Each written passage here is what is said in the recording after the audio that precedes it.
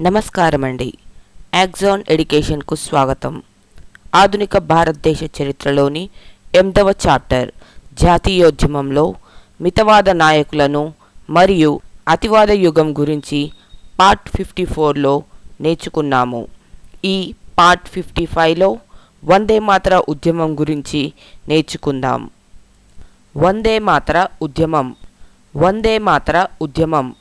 వందే మాత్ర ఉద్యమ కాలం ఏది? పంతొమ్మిది వందల ఐదు పంతొమ్మిది వందల పదకొండు. వందే మాత్ర ఉద్యమ కాలం ఏది? పంతొమ్మిది వందల ఐదు పంతొమ్మిది వందల పదకొండు. మొదట్లో మితవాదుల ఆధీనంలో ఉన్న వందే మాత్ర ఉద్యమం పంతొమ్మిది వందల ఆరులో ఎవరి చేతిలోకి వచ్చింది? అతివాదులు. మొదట్లో మితవాదుల ఆధీనంలో ఉన్న వందే మాత్ర ఉద్యమం పంతొమ్మిది వందల ఆరులో ఎవరి చేతిలోకి వచ్చింది? అతివాదులు. అతివాద నాయకులు భారతదేశంలో మొదటిగా చేపట్టిన ప్రధాన ఉద్యమం ఏది? వందే మాతర ఉద్యమం. అతివాద నాయకులు భారతదేశంలో మొదటిగా చేపట్టిన ప్రధాన ఉద్యమం ఏది? వందే మాతర ఉద్యమం. వందే మాతర ఉద్యమం ప్రారంభం కావడానికి కారణం ఏమిటి? పంతొమ్మిది వందల ఐదులో బెంగాల్ విభజన. వందే మాతర ఉద్యమం ప్రారంభం కావడానికి కారణం ఏమిటి? పంతొమ్మిది వందల ఐదులో బెంగాల్ విభజన. బెంగాల్ను రెండుగా విభజించాలని గవర్నర్ జనరల్ లార్డ్ కజ్జన్ ఎందుకు నిర్ణయించాడు? బెంగాల్లోని జాతీయ ఉద్యమ భావాలను అణచివేయుటకు. బెంగాల్ను రెండుగా విభజించాలని గవర్నర్ జనరల్ లార్డ్ ఖజ్జన్ ఎందుకు నిర్ణయించాడు? బెంగాల్లోని జాతీయ ఉద్యమ భావాలను అణచివేయుటకు. బెంగాల్ భౌగోళికంగా అతిపెద్ద ప్రాంతం. పరిపాలనా సౌలభ్యం కొరకు దీనిని రెండు భాగాలుగా విభజిస్తున్నట్లు లార్డ్ ఖజ్జన్ ఎప్పుడు అధికారికంగా ప్రకటన చేశారు. పంతొమ్మిది వందల ఐదు జూలై పంతొమ్మిది బెంగాల్ భౌగోళికంగా అతిపెద్ద ప్రాంతము. పరిపాలనా సౌలభ్యం కొరకు దీనిని రెండు భాగాలు విభజిస్తున్నట్లు లార్డ్ కజ్జన్ ఎప్పుడు అధికారికంగా ప్రకటన చేశారు. పంతొమ్మిది వందల ఐదు జూలై పంతొమ్మిది. ఎప్పుడు బెంగాల్ విభజన అమలులోకి వచ్చింది? పంతొమ్మిది వందల ఐదు అక్టోబర్ పదహారు. ఎప్పుడు బెంగాల్ విభజన అమలులోకి వచ్చింది? పంతొమ్మిది వందల ఐదు అక్టోబర్ పదహారు. పంతొమ్మిది వందల ఐదు అక్టోబర్ పదహారున బెంగాల్లోని ప్రజలు ఏమి పాటించారు? బ్లాక్ డే లేదా మార్నింగ్ డే అనగా నిరసన దినం. పంతొమ్మిది వందల ఐదు అక్టోబర్ పదహారున బెంగాల్లోని ప్రజలు ఏమి పాటించారు? బ్లాక్ డే లేదా మార్నింగ్ డే అనగా నిరసన దినం. బెంగాల్లోని ప్రజలు పంతొమ్మిది వందల ఐదు అక్టోబర్ పదహారున ఏ ప్రతిజ్ఞ చేశారు? విదేశీ వస్తువుల ఉపయోగాన్ని బహిష్కరించి కేవలం స్వదేశీ వస్తువులను మాత్రమే ఉపయోగించాలి.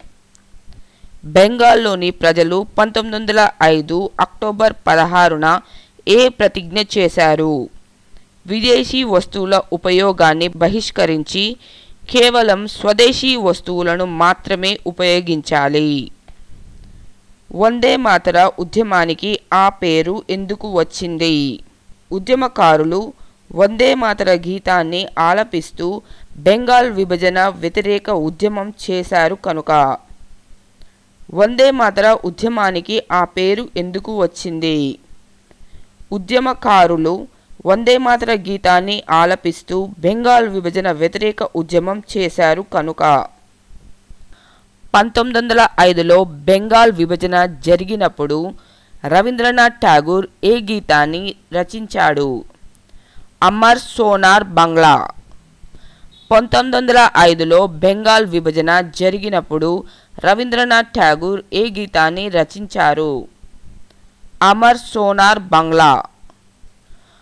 అమర్ సోనార్ బంగ్లా అనే గీతాన్ని ప్రస్తుతం ఏ దేశ జాతీయ గీతంగా ఆలపిస్తున్నారు? బంగ్లాదేశ్.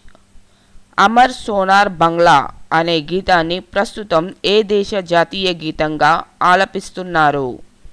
బంగ్లాదేశ్.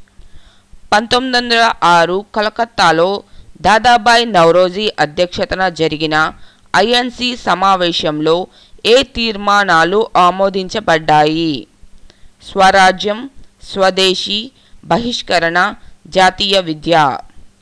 పంతొమ్మిది వందల ఆరు కలకత్తాలో దాదాబాయి నవరోజీ అధ్యక్షతన జరిగిన ఐఎన్సి సమావేశంలో ఏ తీర్మానాలు ఆమోదించబడ్డాయి? స్వరాజ్యం స్వదేశీ బహిష్కరణ జాతీయ విద్య. వందే మాతర ఉద్యమాన్ని ఆంధ్రాలో వ్యాప్తి చేసింది ఎవరు? బిపిన్ చంద్రపాల్. వందే మాతర ఉద్యమాన్ని ఆంధ్రాలో వ్యాప్తి చేసింది ఎవరు? బిపిన్ చంద్రపాల్. రాజమండ్రిలో బిపిన్ చంద్రపాల్ ఉపన్యాసాన్ని ఎవరు తెలుగులోనికి అనువదించారు? చిలకమర్తి లక్ష్మీ నరసింహం రాజమండ్రిలో బిపిన్ చంద్రపాల్ ఉపన్యాసాన్ని ఎవరు తెలుగులోనికి అనువదించారు? చిలకమర్తి లక్ష్మీ నరసింహం పంతొమ్మిది వందల పదకొండులో ఏ బ్రిటిష్ చక్రవర్తి ఇండియాలో పర్యటించారు? జార్జ్ ఐదు. పంతొమ్మిది వందల పదకొండులో ఏ బ్రిటిష్ చక్రవర్తి ఇండియాలో పర్యటించారు? జార్జ్ ఐదు. ఢిల్లీ దర్బారులో జార్జ్ ఐదు స్వయముగా ఏ ప్రకటన చేశారు? రాజధానిని కలకత్తా నుండి ఢిల్లీకి మార్పు బెంగాల్ విభజన రద్దు. ఢిల్లీ దర్బారులో జార్జ్ ఐదు స్వయముగా ఏ ప్రకటన చేశారు? రాజధానిని కలకత్తా నుండి ఢిల్లీకి మార్పు బెంగాల్ విభజన రద్దు. బెంగాల్ విభజన రద్దు చేసినప్పుడు గవర్నర్ జనరల్ ఎవరు? రెండవ హార్డింజ్. బెంగాల్ విభజన రద్దు చేసినప్పుడు గవర్నర్ జనరల్ ఎవరు? రెండవ హార్డింజ్. వందేమాతర ఉద్యమం ఎప్పుడు పూర్తిగా అంతమయ్యింది. బెంగాల్ విభజనను రద్దు చేస్తున్నట్లు జార్జ్ ఐదు అధికారికంగా ప్రకటించడంతో వందేమాతర ఉద్యమం ఎప్పుడు పూర్తిగా అంతమయ్యింది. బెంగాల్ విభజనను రద్దు చేస్తున్నట్లు జార్జ్ ఐదు అధికారికంగా ప్రకటించడంతో పంతొమ్మిది వందల పదకొండులో బెంగాల్ విభజన రద్దయినప్పుడు రవీంద్రనాథ్ ఠాగూర్ ఏ గీతాన్ని వ్రాసారు జనగణమన. పంతొమ్మిది వందల పదకొండులో బెంగాల్ విభజన రద్దయినప్పుడు రవీంద్రనాథ్ ఠాగూర్ ఏ గీతాన్ని వ్రాసారు జనగణమన. రవీంద్రనాథ్ ఠాగూర్ జనగణమన గీతాన్ని ఏ భాషలో రచించారు? బెంగాలీ సంస్కృతం. రవీంద్రనాథ్ ఠాగూర్ జనగణమన గీతాన్ని ఏ భాషలో రచించారు? బెంగాలీ సంస్కృతం. భారతదేశం యొక్క జాతీయ గీతం ఏది? జనగణమన. భారతదేశం యొక్క జాతీయ గీతం ఏది? జనగణమన. పంతొమ్మిది వందల పంతొమ్మిది ఫిబ్రవరిలో రవీంద్రనాథ్ ఠాగూర్ మదనపల్లిలో జనగణమనను ఏ భాషలోకి అనువదించారు? ఆంగ్లం.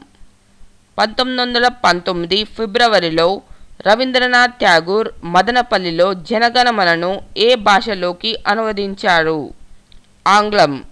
జనగణమనకు స్వరకల్పన చేసింది ఎవరు? Margaret cousins.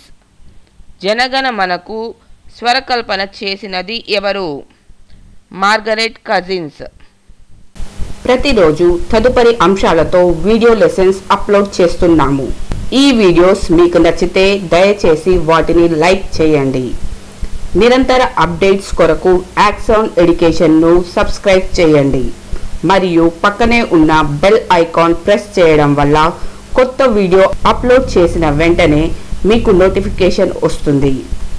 ఈ వీడియోస్ నచ్చితే మీ స్నేహితులకు కూడా తెలియజేయండి. Thank you.